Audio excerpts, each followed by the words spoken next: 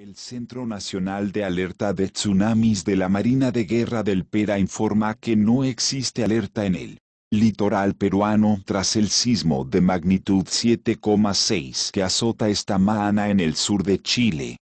El jefe del Departamento de Oceanografa de la Direccia N de Hidrografa y Navegacia N, Capita N de Fragata Javier Fernández, Detala a Canal N que no existe peligro en la costa peruana por el terremoto acontecido a las 9.22 de la mañana hora peruana.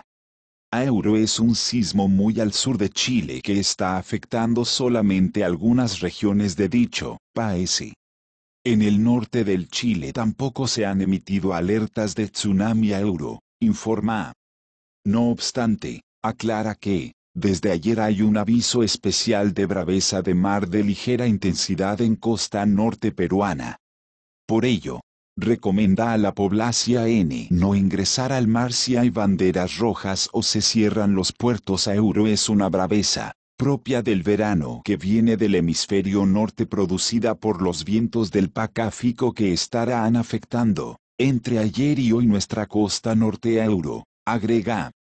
Por otro lado, el Servicio Hidrográfico y Oceanográfico de la Armada de Chile SHOA establecía alerta de tsunami por el fuerte sismo en la localidad de Melinca, ubicada en la isla de Chiloa, regia N de los lagos.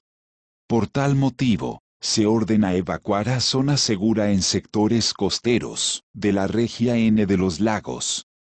Asimismo, por estado de precaución N, se establecía abandonar la zona de playa en el territorio de las regiones de Biobao, Araucanaa, Los Ereaos y esa número.